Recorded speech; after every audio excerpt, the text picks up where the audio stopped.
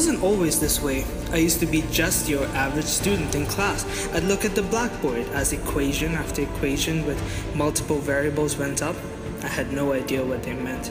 But then one day, it happened so fast. With just a phrase, equations became graphs.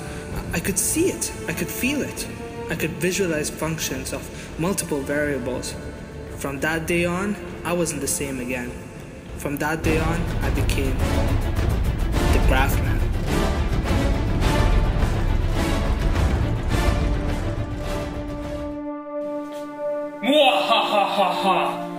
come up with the hardest math question ever.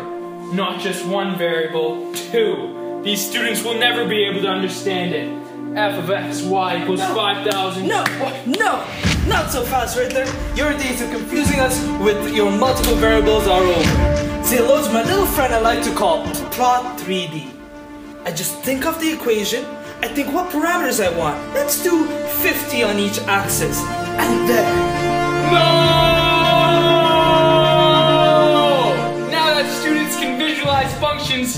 Just, it's just too easy for them. No, but but this doesn't this this doesn't tell me any information about the graph. Like, see that point there? You can't tell me the slope of it. Yeah, I can. It, that's trivial. I mean, you just need to do a tangent approximation. Uh, remember tangents in linear plots? Well, just take the derivative. In this case, you have uh, two variables, so you can take the partial derivative, get a plane that's the exact slope of that point, and there you go. Impossible! Impossible! how is it so easy to manipulate multivariable functions? Wait, wait. Wait a second. Students don't have this 3D plot thing in the classroom. On tests, all they have is 2D pieces of paper. What? Yes. Oh, boogers. No, but wait, you can use contour plots. Con contour plots? Yeah like contour maps? Yeah, exactly. 2D representations of 3D um, variables. For example, what you do is you do um, level planes. So draw planes that are parallel to the axes that cut across, say, 1,000, 2,500, 4,500, and then wherever they intersect, that'll be level curves. Curves of your equation that are of the same level. If you draw these level curves on a 2D plot, you've got a 2D contour plot so students can can visualize 3D plots on 2D things. No! I'm melting!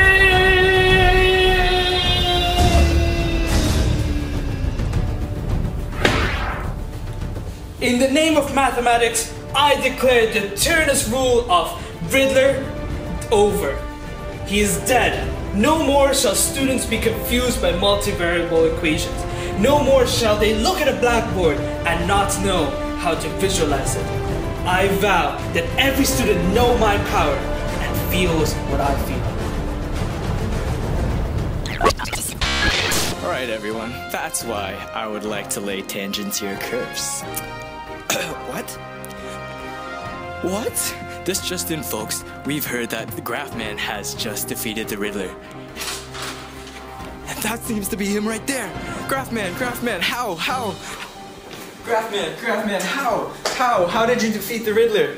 Listen, I, I didn't defeat him. It, it was my powers. I mean, um, you can do it too. With Maple, uh, you can have my powers. Just just download my self-study worksheet. It's, it's on my website oh. for uh, just two payments of $69.69. And you can visualize functions of multiple variables too. Oh, so this is how you get your powers. oh, Graph Man, you've made a huge mistake. Now I have your powers too. ah, you see, I am not a reporter. I am.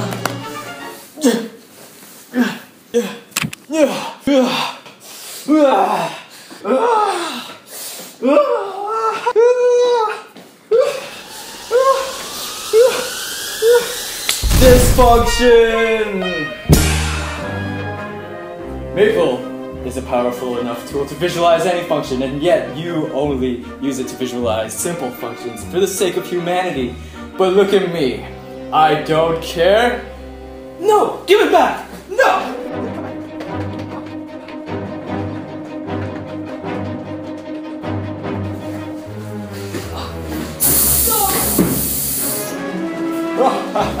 My first decree as this function is to plot the graph x squared minus y squared over x squared plus y squared. No! But but that graph i- at the origin, it, it's zero at the denominator. You're gonna get a discontinuity. How dare you use my powers for such evil? Ah, yes, and I shall use it to rule the world.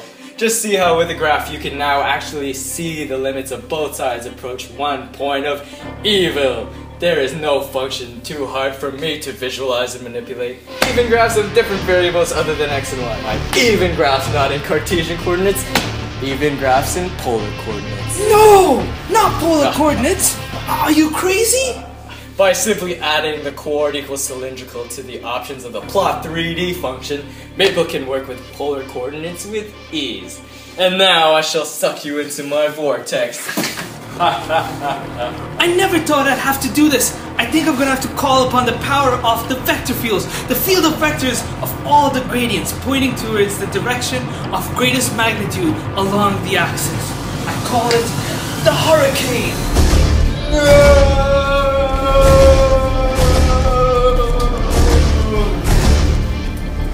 And yes, for the second time in the name of math, students around the world have been shielded from the confusing powers of multiple variables.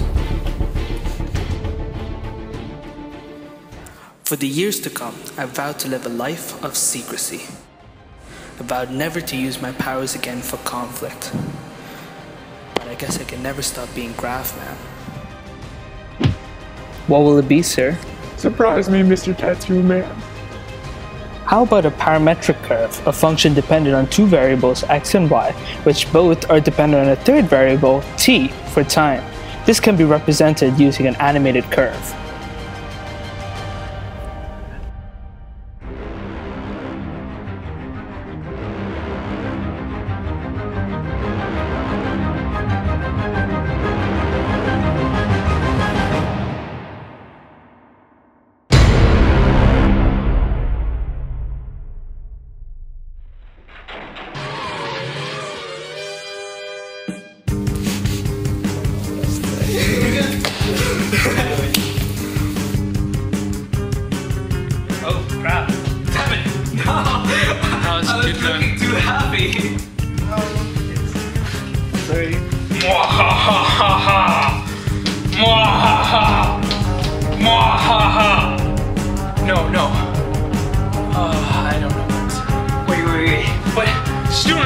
That don't have this in crap. Let me.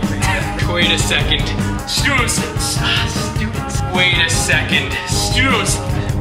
What? Even graphs other than